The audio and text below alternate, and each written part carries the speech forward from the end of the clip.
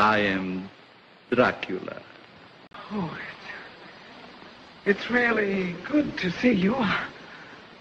I don't know what happened to the driver and my luggage and, well, and with all this, I, I thought I was in the wrong place. I bid you welcome.